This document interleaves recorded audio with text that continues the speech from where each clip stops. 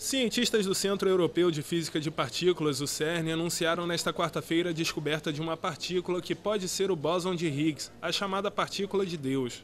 O bóson de Higgs é o que daria massa ao resto das partículas e o que teria permitido a formação do universo e de tudo que existe nele.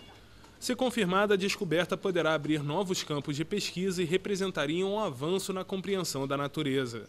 O anúncio aconteceu após dois experimentos diferentes realizados no acelerador de partículas do CERN darem o mesmo resultado. Uma das pesquisadoras, Martine Bosman, explica que essa é a única peça ainda não desvendada do modelo padrão da física. É uma peça do modelo estándar que nos uh, faltava. No entanto, os cientistas admitem que existe uma pequena possibilidade de que essa seja uma partícula similar ao bóson de Higgs, mas não a procurada pelas pesquisas.